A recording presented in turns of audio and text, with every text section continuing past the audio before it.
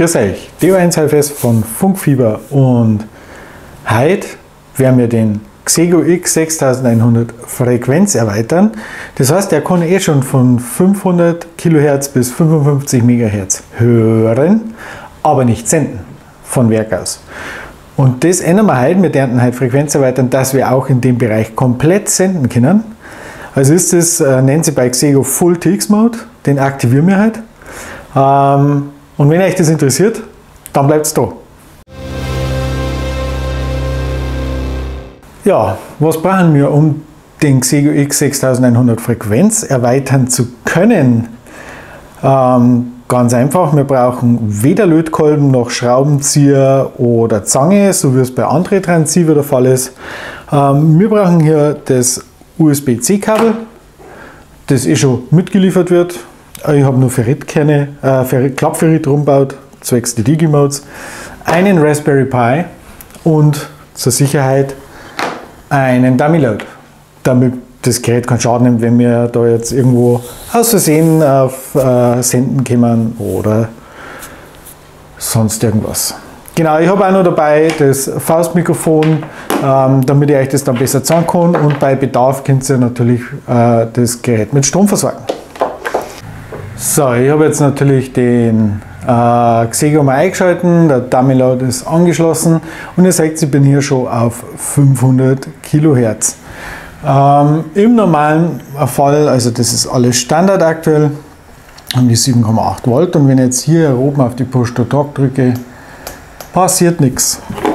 Ich kann jetzt mal das externe Mikrofon, also das mitgelieferte Faustmikrofon anschließen.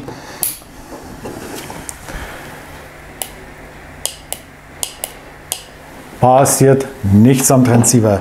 Also das Gerät ist noch nicht frequenzerweitert. Ähm, somit Standard. Ähm, was ihr natürlich schon mal einstellen könnt, wenn ihr lustig seid, ist hier statt Handband auf Fullband. Dann könnt ihr die einzelnen ähm, Sprünge leichter durchmachen, sonst müsst ihr es da jetzt mal hinscrollen. Ist aber total irrelevant zu dem, was wir jetzt machen, weil wir können dann auch ohne Fullband auf den Bändern senden. Ja genau, was wird sich optisch ändern, wenn der Xego Frequenz erweitert ist? Ähm, hier in der linken oberen Ecke wird sich was ändern, da steht dann Full TX. Ähm, den Xego habe ich jetzt schon mal vorbereitet, also was heißt vorbereitet, ich habe ihn mit dem Raspberry Pi, der läuft jetzt ähm, und habe ihn hier mit dem USB-C Kabel am DevPort, zeige ich das schnell, wenn das scharf steht, am DevPort verbunden. Ähm, und dann switchen wir jetzt um zum PC und legen los. So, wir sind jetzt hier auf dem Desktop des Raspberry Pi und öffnen die Konsole, also das LX-Terminal. Ist auch hier unter Zubehör zu finden. Bei mir ist es hier schön der Taskleiste drin und starten dieses. So, zum ersten brauchen wir jetzt erst einmal zwei Programme, äh, falls sie nicht schon installiert sind. Also eins ist mit Sicherheit nicht installiert. Das äh, zweite wird vielleicht schon installiert sein auf Raspbian. Nutze ich gerne als Editor ähm, und müssen jetzt erst einmal halt die Software installieren. Und dazu gehen wir jetzt erstmal sudo apt install nano für den Editor Nano. Den nutzt ihr am liebsten hier. Äh, den benutzt ihr am liebsten in Linux und dann brauchen wir Screen. Drücken Enter. Ihr werdet jetzt bei mir natürlich schon meckern. Jetzt wird ihr mit Ja bestätigen, um die Software zu installieren. Bei mir ist es natürlich schon drauf. Das war jetzt der erste Schritt, was wir noch brauchen. Eigentlich relativ simpel. Genau, der erste Befehl ist stty minus großes F def tty acm0 cs8 minus paremp. Ähm, das ist so mal die Vorbereitung, dass wir auf die serielle Konsole des Xevo X6100 kommen, um das Ganze einmal im Hintergrund äh, zu starten. Drücken Enter, keine Fehlermeldung, alles gut. Der nächste Befehl, den wir jetzt brauchen, um die serielle Konsole, also die Konsole vom Xego X6100 aufrufen zu können, ist jetzt das Programm Screen. Dann natürlich den vorbelegten Port, den wir jetzt haben, das ist def tty acm0 und mit der Bautrate 115.200 und drücken Enter. Ganz wichtig, die 115.200 eintippen, sonst macht die Konsole nicht richtig auf und ihr seht nicht, was drauf passiert. Wenn ihr den Fehler macht, ihr vertippt euch hier und ihr seht nichts, müsst ihr fast den Raspberry Pi neu starten. Und nochmal von vorn beginnen. Also nicht die Software installieren, sondern um diese beiden Parameter nochmal von vorn beginnen und hier natürlich das richtige eingeben. Wir drücken jetzt hier Enter und dann flutschen wir auch schon auf die Xego-Konsole. Passiert jetzt noch nicht recht viel. Ähm, wir drücken jetzt einmal Enter, jetzt folgt er noch ein Passwort. Äh, ich hätte einen Benutzernamen eingeben sollen, einmal Nummer Enter drücken, dann sagt er fehlgeschlagen und wir kommen nun mal in die Benutzereingabe. Der Benutzername ist root. Drücken Enter, das Kennwort ist 1, 2, 3. Und schon sind wir in der Konsole drin. Genau, was müssen wir jetzt machen? Wir müssen jetzt eine Datei bearbeiten, die diesen Full-TX-Mode freischaltet. Und dazu gehen wir jetzt ein nano slash etc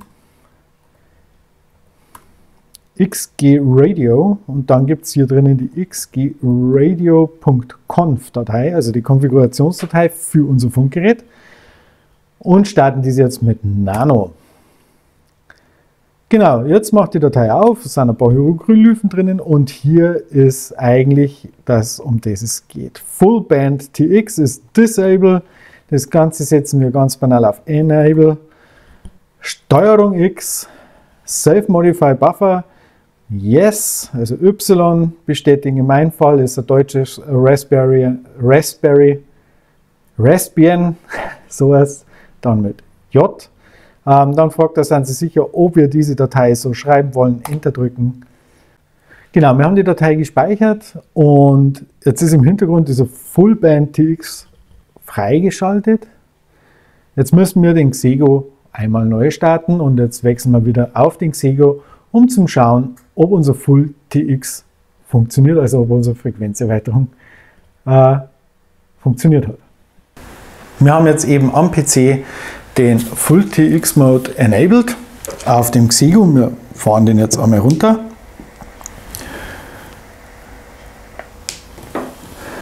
Genau, und so aus. Er blinkt, weil er lädt. Ich habe ihm mittlerweile einen Strom gegeben, weil ich natürlich nicht weiß, wie lange das ich für das Video brauche. Und jetzt schaltet man wieder ein.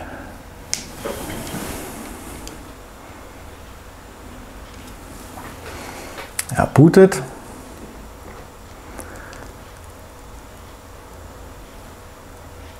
Genau, und jetzt sehen wir hier schon die Änderung. Die zeige ich euch jetzt gleich noch schnell in Nahaufnahme.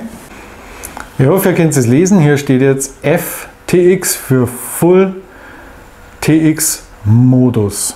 Wir sind ja noch ähm, auf die 500 Kilohertz, also hier jetzt 522 Kilohertz. Ich habe einen Dummy-Load angeschlossen, aber bevor ihr jetzt das ähm, testet, also gehe erst einmal ein bisschen zurück mit der Power, also ich gehe jetzt auf 1 Watt zurück und testet bitte vorher einen Dummy-Load. Ich gehe jetzt hier auf App, SWR-Scan, genau, schaut super aus, perfektes SWR für diesen Frequenzbereich. Wir gehen mit Exit raus und jetzt sollte das möglich sein, also ich gehe jetzt hier mal her, Seht ihr, das LED springt auf Rot um. Und jetzt, wenn ich ins Mikrofon reinspreche, sendet er auch ein Signal. Genau, jetzt haben wir auf 522 Kilohertz gesendet. Das geht jetzt über das komplette Band. Also ich kann jetzt hier mal so ein bisschen drehen. 1 MHz, das ist ein Test auf 1 MHz. Funktioniert.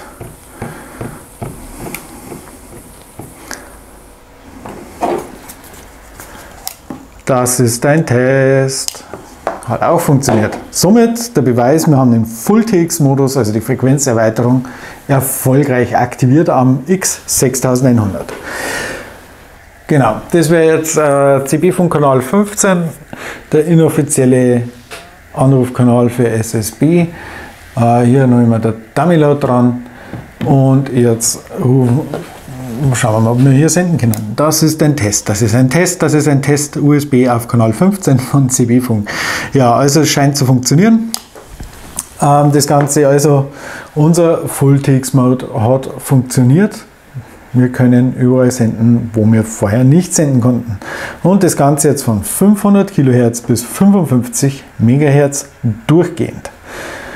Genau, wie gesagt, ihr könnt das Gerät dadurch ja auch beschädigen, nicht passende Antennen hin und her, aber ihr seid selbstverantwortlich, wenn ihr da damit rumspult und dass es geht. Das ist ein reines Infovideo, dass das möglich ist, ohne physikalischen Eingriff ins Gerät. Genau, das war es ja jetzt schon wieder von diesem Video zum Xego X6100, das FAQ-Video 000. Ähm, die Frequenzerweiterung. Ähm, es folgen noch die digitalen Betriebsarten wie AFT8 mit WSJTX, JS8 Call und Winlink kommen in die nächsten FAQ-Videos. Wenn ihr noch andere Sachen behandelt haben wollt, auch an diesem Gerät, lasst mir doch bitte einen Kommentar da, damit, mir das, damit ich das aufgreifen kann und euch natürlich entsprechend mit Videomaterial und Anleitungen füttern kann. Genau, das soll es aber jetzt gewesen sein. Ähm, da war DO1 HFS von Funkfieber mit der Frequenzerweiterung des Xego X6100. Ich wiederhole mich, ihr macht das eigenverantwortlich, übernimmt keine Haftung, wenn ihr damit Schabernack treibt. Genau, das war's. Wir sehen uns in den nächsten Videos. Da war DO1 HFS.